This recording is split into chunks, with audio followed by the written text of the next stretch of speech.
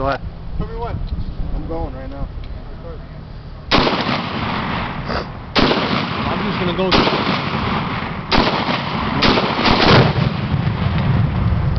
Holy fuck. Yeah, Nick.